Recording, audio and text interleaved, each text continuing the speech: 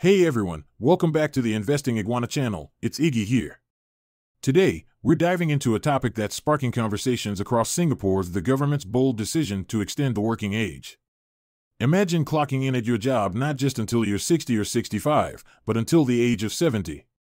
That's right, by 2030, Singaporeans are expected to remain in the workforce until they hit the big 7 to 0. Why this shift, and what does it mean for you, whether you're just starting your career or eyeing the horizon of retirement? Stick around as we break down the details and implications of this groundbreaking move. In the not so distant future, starting from 2026, there will be a significant shift in the retirement landscape. The metaphorical time when you can finally hang up your work boots and enjoy the fruits of your labor is being postponed. The retirement age is set to increase to 64 years old. Yes, you read that correctly. But that's not all. By the year 2030, the retirement age will be pushed even further to 65 years old. But the changes don't stop there. The age for reemployment is also set to rise. In 2026, it will reach 69 years old, and by 2030, it will hit the 70 year mark. What does this mean for you? Well, it means that your employer is obligated to offer you the opportunity to continue working until you reach these ages, assuming you are willing and able to do so. You might be wondering why these changes are taking place. The answer lies in our increasing life expectancy. Thanks to advancements in healthcare, we are living longer, healthier lives. This is great news for us as individuals, but it also presents a challenge for countries like Singapore, where the manpower situation is tight. By raising the retirement and reemployment ages, the aim is to keep experienced seniors in the workforce for a longer period. This allows them to continue contributing their valuable skills and wisdom. It's a win win situation.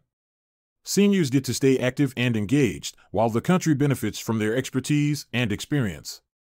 So, while the game might be changing, it's changing in a way that benefits everyone.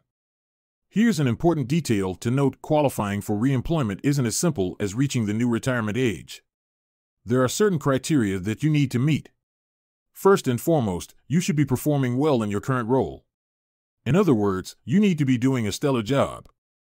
Additionally, you should be in good health, or as the saying goes, fit as a fiddle. If you joined the company after the age of 55, there's another requirement. You need to have been with the company for at least two years by the time you reach the new retirement age. This is to ensure that you have had enough time to demonstrate your value to the company.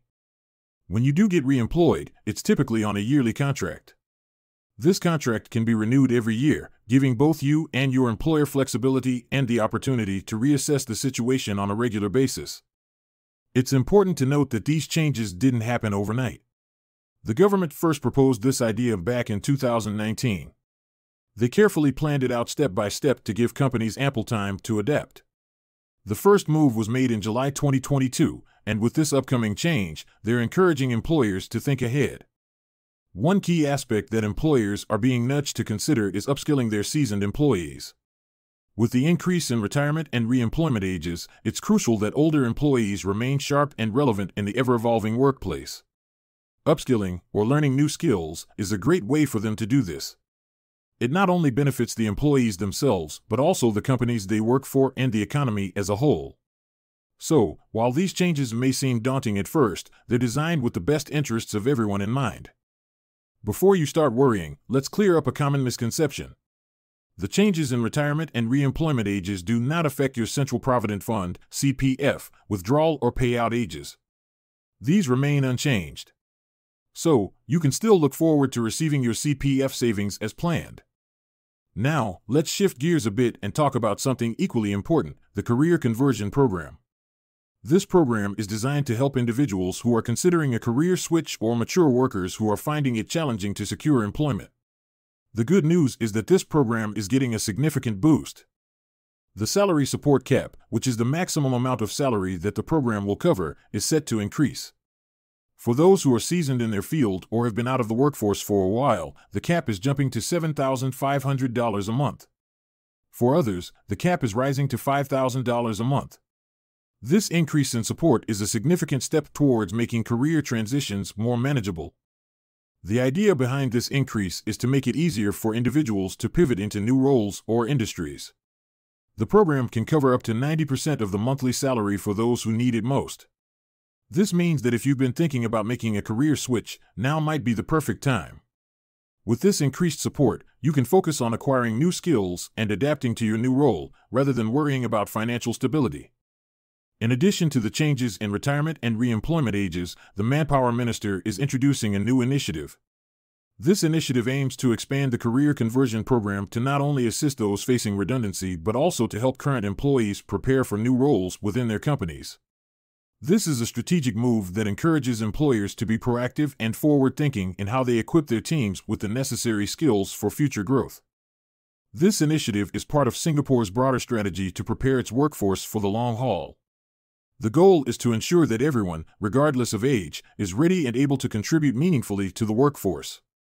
This approach recognizes and values the experience and wisdom that comes with age, while also acknowledging the importance of staying relevant in an ever evolving job market.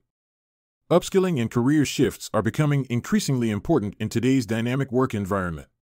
By providing support for these transitions, the government is helping individuals adapt to new roles and industries. This not only benefits the individuals themselves, but also contributes to the overall growth and competitiveness of the economy. In essence, these changes reflect a shift in mindset. Rather than viewing age as a barrier, it's seen as an asset. Experience and wisdom are valued, and there's an understanding that with the right support and opportunities, older workers can continue to play a significant role in the workforce.